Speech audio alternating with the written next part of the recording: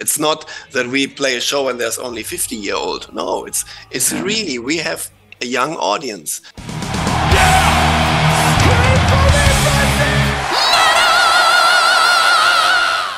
Hey everyone, welcome to the channel. My name is Belgian Jasper. If this is your first time in the channel, hit subscribe right now.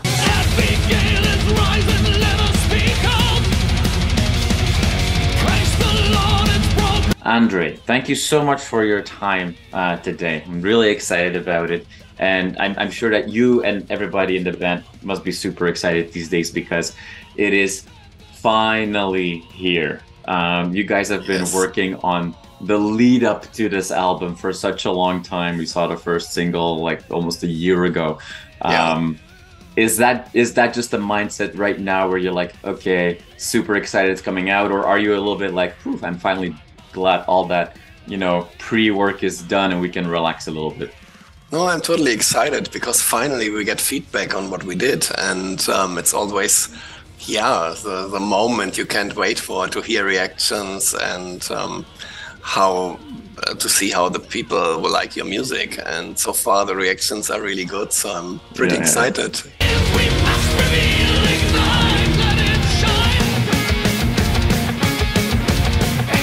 This is your 12th full length album that's coming okay. out. Um, it's depending on how you count, count, it's either 35 years of Blind Guardian or you know, let's let's let's include the few years before that uh, with Lucifer's Heritage as well. 38, 38 years coming up on 40. Um, I don't want to make you feel old right now, but um, are do you find that you are taking more often a step back and, and looking at this whole crazy ride and, and, and, and also a little bit that legacy that you guys have built over time? Well, um, I don't think about this too often because, as I said, we are looking forward and and uh, you are as young or old as as you feel, and I feel pretty full of energy and I have so many plans in my mind that yeah, that, yeah. that the next five years are already filled with plans and so you are you are doing something you you finish something and you are always already in the next project and focusing on the next so um, I'm of course I'm happy for the things we did. I don't I don't regret anything. Um, even even if some things maybe later on you think, oh, why didn't we do that better? But okay, it was the best that uh, that we thought of at that time, and um, so I'm I'm pretty proud of our career. We are still mm-hmm. together. We are still friends, and still we have the passion for music, which yeah. which keeps us alive, which is part of um, our whole lifestyle. And and um, I don't want to change this. I feel really comfortable playing music, being around with the other guys, and um, so I'm I'm already looking forward for the next 20 years, you know. And if everybody yeah. stays stays healthy, why not? The, the Rolling Stones are showing the way. Exactly. so, so what I'm hearing saying is like, okay, let's not expect a special 40th anniversary show in two years from now, but maybe when the 60th anniversary comes around, it'll be time to to do some proper celebration. we were always thinking about a festival again, um, having a huge Blind Guardian festival with uh, with many of our uh, friends. Uh, um, other bands and uh, maybe have a huge gathering of this community, you know. Yeah, That would be fantastic. But it's right now it's, it's you are you are so unsure what, what is happening, what's going on, you cannot do this. Yeah, yeah, yeah, yeah. All right, so la- last question before we fully look ahead and just really focus on the new material. Um, you mentioned big festivals and so on, and and and we're still relevant. And absolutely, um, I think maybe the popularity of the band has been greater than than ever before. Um, especially when you think about that one video with you guys playing Wacken, where you do the Bard song and Valhalla together.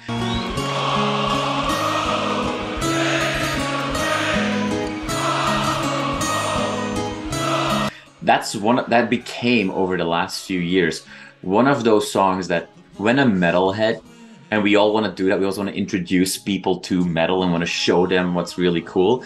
That is what one of those go-to videos that people will play for their friends, and and you'll see reaction videos to that over and over and over. Not only was that a very fantastic and special, you know, performance, but seeing how one of those videos takes on such a different life and becomes like one of the, you know, uh, one of the examples, if you will, of like, hey, this is what metal is all about. Um, that is is that just super weird in a very very cool way to see as an artist, like how one of your performances just takes off like that. Well, um, what can I say? I, I saw that uh, many times people reacting on the Bard song or Mirror Mirror like yeah. this. For, for us, it's a normal thing. We, we see that every evening when we play because people sing along and they totally um, go crazy with these songs. And yeah, it's it's fantastic. I mean, Bard song became like a heavy metal hymn, so to yeah. say, and and it's great. It's uh, yeah, I'm I'm I'm really happy that that we wrote something um, people enjoy so much. And and for me it stands for the for the community for for this peaceful community that that the music is really bringing them together. And mm-hmm. uh, if you take Wacken for example there's people from from all countries coming together there. They don't know each other but in these shows they they get a friendship. They they feel the music is bringing them together very close. And and this is so beautiful. I yeah, mean yeah, yeah. I, wish more things in this world would function like this then we would be a peaceful nice world right?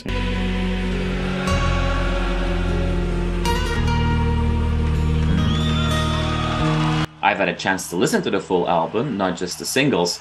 Um, is it fair to say that not just a more from a live perspective feeling as being recorded, but also songs that are overall straightforward songs that I expect to do well live. I think you want to play a lot of the new songs on the shows. Is that fair? Yes, yes, yes. In 23, we will start uh, bringing in more songs from the God Machine, and um, yes, they they have a better flow. And I think the reason for this is that. Um, when the um, we were in the songwriting and and then the pandemic started and we saw okay there's much more time so let's spend it in the songs. And for the first time um, we did demo tapes for each song. And so the songs could grow. We could find the bugs we could see where they didn't connect well and where we probably had to change the arrangements um, to to make them more yeah to to have more grip mm-hmm. and and when we rehearsed, we had also time to rehearse, which is usually not the not the way. Um, usually, we were always in a, in a hurry, time pressure. Songs were not ready, but the studio day date was coming up already. So yeah, yeah. you were you were just trying to finish the the songs and never had time to rehearse, never had time to to play demo tapes. And now we had this uh, um, choice to, to, to spend more time to try out more things. And that's why the songs came out let's say um, yeah more um, more more finished more more really um, grown grown and and yeah we have a better feeling for them. So um, playing them live um, is already on a level where we usually only get when we play the songs in a tour. Yeah, and yeah. and this is an advantage we have in this album. So it has a better flow. Um, on top, we wrote way more songs than we needed, or at at least we started more songs. So uh, we could choose uh, which songs fit best together, which was uh, another thing we never had before. Um, so um, we left out songs that we felt that they would probably um, be like a break in the album or, or yeah. slow down the album. Um, and we only chose the songs that, that really almost brought in a, a red line. And now the, the album feels almost like a concept, even that it isn't. Yeah. Um, and that's what we try to achieve.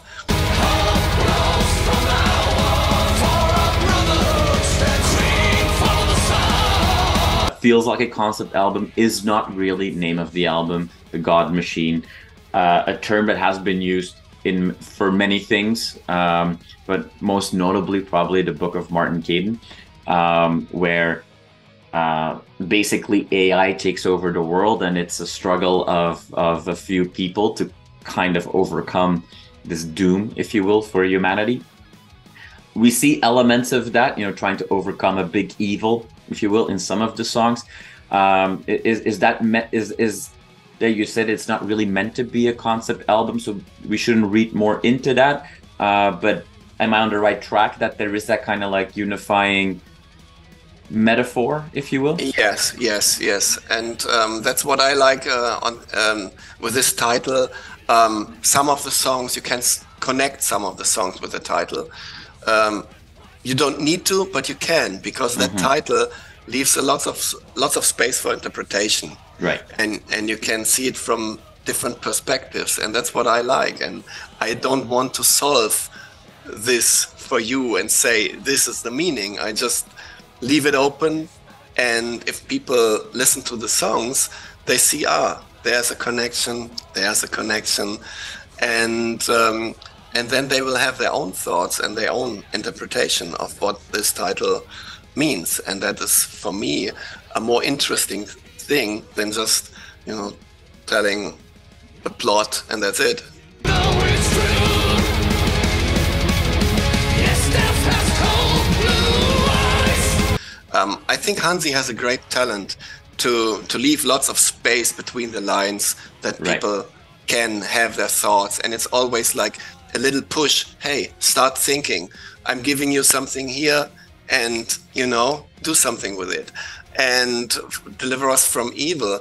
Um, we look back in the um, 17th uh, century, and we we see that the, the witch hunts it was not not really good what was happening there.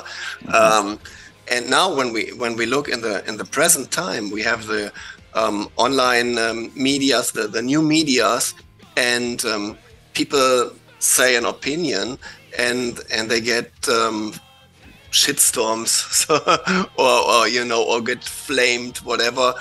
And uh, it's kind of a witch hunt Yeah. in in modern times. So um, we maybe should um, see it in this way what we are doing wrong in the present and and get to some conclusions that we have to change some things. And um, have a little bit more respect for each other and not um, um, go back to these uh, forms of, of witch hunting you know There are no signs, there are no miracles. Spare no length. Now you mentioned, um, you know, as of 2023, we're going to be in, you know, injecting more new songs into our set list. Yeah. Um, is that that is always tough for a band with 12 albums already, and you know, because there's there's a million expectations of the fans, and and is that something that you guys are already like having sleepless nights on, like, okay, how are we going to make a set list that that Yeah, works it- for everyone? It, it is it is always a problem, and um, usually we have a song pool of forty or fifty songs, and then we choose, yeah, randomly.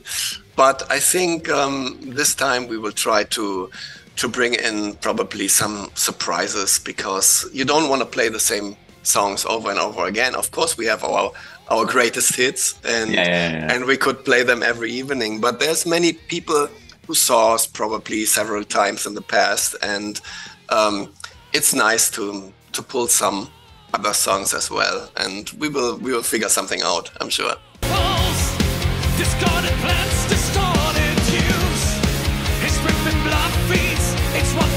uh, looking ahead at you know what's what's coming uh, after the album is released um, fans worldwide what should they keep their eyes open for you know Blind Guardian coming their way Well, um, I hope that we can play all countries. Right now, it's it's difficult to say because we don't know what restrictions will come up.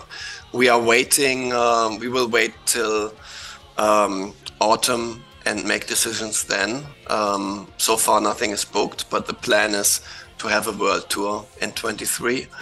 and um, yeah, we will see. We are still in waiting position right now. We are we are we have the Somewhere Far Beyond tour upcoming, which is postponed from 21, mm-hmm. and yeah, I mean. 22 we will we will stick definitely to the Somewhere Far Beyond set list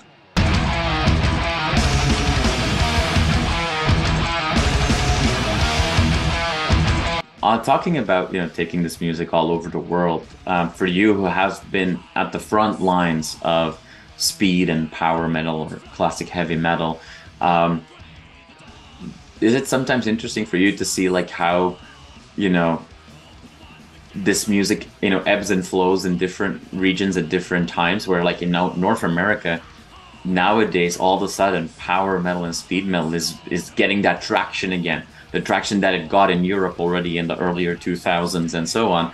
Um, how how like different regions react in such different ways, and now everybody's you know yelling that they want to see Blind Guardian play in their home country.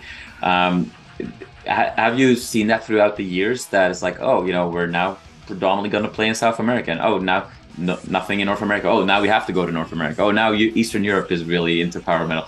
Like, is, is that weird to see that that that people kind of have this yeah, it, changing relationship? It is uh, weird that that really in in different countries you have different communities, but of course um, uh, there's a reason for this. I mean, um, when the American metal came up. Uh, they have a strong radio scene, and of yeah. course, if it's if it's played in the radio all day, um, it's growing. Uh, while in other countries you don't have rock radio, and so there will be no promotion for for kind of music like this, and they listen to other stuff. Um, but anyways, we always uh, did huge world tours. We came across all countries, and we always have a loyal fan base everywhere. So um, we always could see that there's many, many people who are into that melodic. Uh, metal style yeah. that we play and and yeah i think we we sound pretty much european or german if you want to say uh, and and i'm fine with this you know i don't um, i'm i don't want to sound any different because um, we found um, our identification and um, and we are happy with with the way we are going and i'm happy that there's still after so many years um, we can fill the venues around the yeah, world, yeah. And, and and that's a great thing. And I know that of course there's other bands who maybe came with a newer style of metal only 10 years ago and they fill stadiums. Okay, I'm fine with this, totally fine. But we have our community, um, yeah, and it's still there. And I see for me, a very important thing is when we play our tour, you always see 16 to 20 year old people in the front mm-hmm. rows. So I'm always, I always know we do a new album and we reach a new generation of metal fans. Yeah. And that is that's important. It's not that we play a show and there's only 50 year old. No, it's it's really we have a young audience. So um, um, we are doing something right that we even attract the younger generations, and that's important.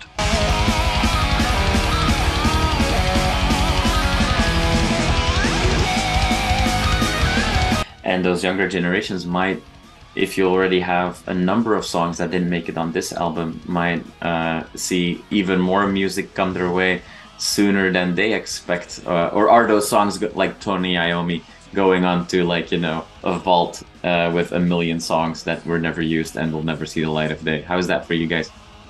Um, well, if the ideas are strong and, and we think um, they are good, we will of course work on it on a, in a later uh, point. And um, but you always need to find, um, let's say, um, something that that this is yeah that you need more songs than one, um, which are in the same kind of feeling right. Um, to put it out because um, yeah we we as I said we like to do albums. We are not a not a song generation. We like to have a full album and it yeah, needs to have a flow, a red line that you can follow. Yeah, and yeah. Um, so yeah, some ideas probably are too extraordinary, and and then you need to find the right concept to put them in. Yeah, yeah. Maybe for that, you know, 60th anniversary box. Who knows? You know, yeah. a bunch of un like you know- exactly, exactly. The hidden treasures again. Yeah. exactly, exactly. Awesome, awesome. Well, Andre, I am super excited uh, for this album to come out. I, I think you're right. This is a very feels like a refreshing reaction almost to the previous albums, and um, it's gonna be a lot of fun seeing you guys play these songs live uh, in 2023, and I can't wait for that. Uh, with that Thank said, you. I want to thank you so much for your time today. I really appreciate it, and um, I wish you all the best in this ongoing release cycle because I know there's gonna be a lot of PR for you, and I hope that you get some breaks in between. Thank you so much. I really enjoyed the inter- in- uh, interview. It was really nice, and um, yeah, I hope uh, that we will have lots of fun with our um, people in the shows, and the performance will be a challenge. I know that, but yeah, I think uh, in some years we will look back and say, yeah, we did the right thing.